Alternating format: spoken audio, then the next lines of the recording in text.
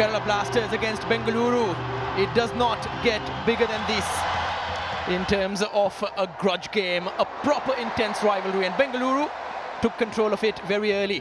Their intentions were clear. They had to match the result in the other game, but they were on the front foot right from the off. That doesn't mean that Kerala didn't have their chances.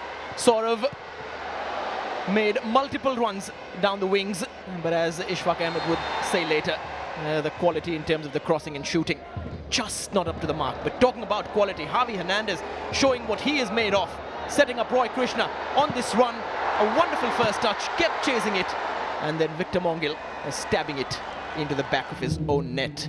The crowd was silenced, and Bengaluru were in control.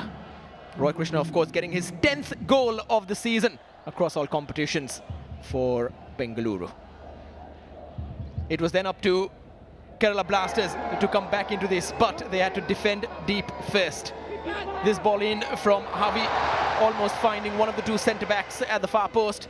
Sachin and Gurpreet were both busy throughout. Vibin testing India's number one. Not just once, but a couple of times.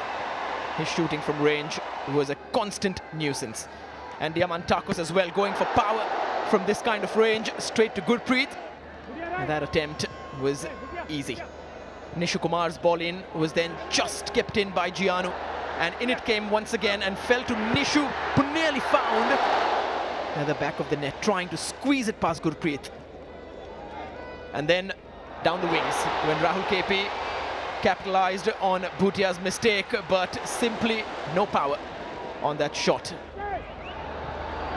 Then the changes came in, and Hormipam down at right back, combining with the other change, Nihal. And the ball bouncing up very kindly for Diamantakos. He still had a lot to do, using all his neck muscles to take it past Gurpreet and loop it into the back of the net with around 15 odd minutes left. It was one all in a winner takes all situation. However, Round Glass Punjab were winning against Sreenidi in Manjeri and that meant Bengaluru could hold on and hold on they did.